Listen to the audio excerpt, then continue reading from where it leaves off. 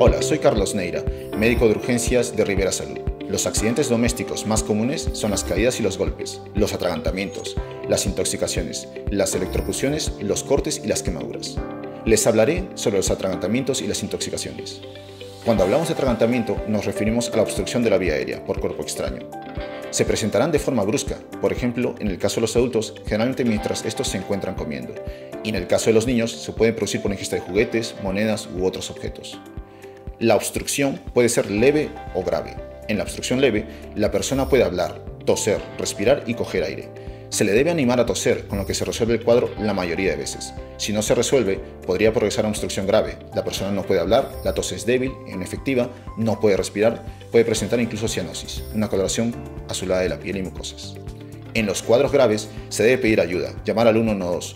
Luego se procede a realizar cinco golpes interescapulares, con el tronco de la persona inclinado hacia adelante. Esto para evitar que el objeto que obstruye baje a las vías respiratorias por los golpes. Si no se resuelve la obstrucción, se realizarán cinco compresiones abdominales, lo que se conoce como la maniobra de Heimlich. En el caso de embarazadas, obesos o niños menores de 2 años, se debe realizar compresiones torácicas y no abdominales. En la maniobra de Heimlich, la persona que va a realizar la maniobra debe abrazar desde atrás al asfixiado. Se coloca un puño por encima del ombligo y por debajo de las costillas, con el pulgar contra el abdomen. Se cubre el puño con la otra mano y se presiona hacia adentro y hacia arriba del abdomen, con la fuerza suficiente para despegar los pies de la víctima del suelo. Esto permite ejercer una fuerza de forma más contundente y precisa. Si la víctima es un niño, nos arrodillamos detrás de él. Se realizará la misma maniobra, pero sin presionar con tanta fuerza como para levantarlo del suelo. Si se trata de una embarazada, se ejerce compresiones torácicas en la mitad inferior del esternón. Si las compresiones no expulsan el objeto, se apoya una mano en el pecho de la mujer y se dan golpes en la espalda con la otra mano. Si se trata de un lactante o menor de dos años, póngalo sobre su brazo boca abajo, usando el muslo como apoyo.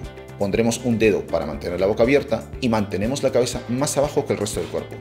Se dan cinco golpes fuertes y rápidos entre los homóplatos, con la base de la palma de la otra mano. Se alterna esta maniobra con las compresiones torácicas, donde se da vuelta al niño presionando con dos dedos en el centro de tórax, a la altura de los pezones.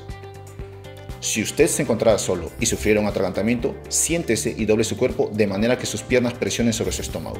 Otra manera es presionar su vientre contra el respaldo de una silla o el borde de una mesa. Si la persona queda inconsciente, lo cual puede suceder en cualquier momento, se debe colocar a la persona en el suelo boca arriba, de forma cuidadosa.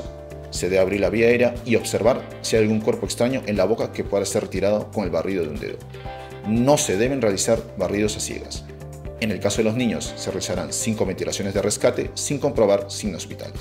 En estos casos, se realizará una reanimación cardiopulmonar, siguiendo el algoritmo del soporte vital básico, constituido por compresiones torácicas y ventilaciones, en una relación de 30-2 en el adulto y 15-2 en los niños, hasta la llegada de los profesionales sanitarios.